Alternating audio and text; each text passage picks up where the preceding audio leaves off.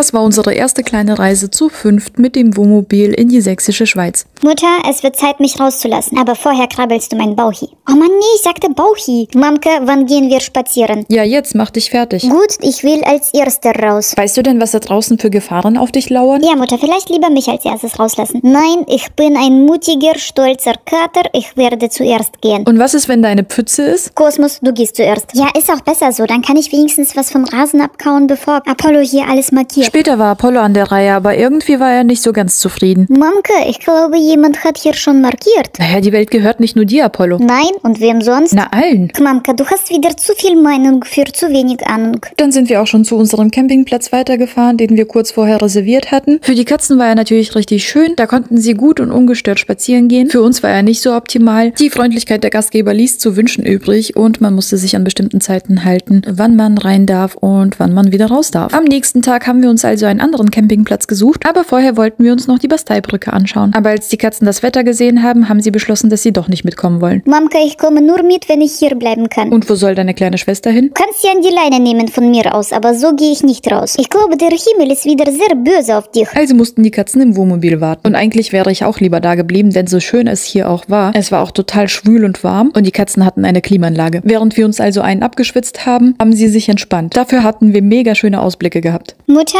diese Vögel aus dem Osten sind irgendwie frech. Ja, die haben gesagt, die wollen mich duschen. Was heißt das? Ich glaube, das heißt duschen. Ich dusche euch gleich eure Schwanzfedern, aber separat von euren Ärschen.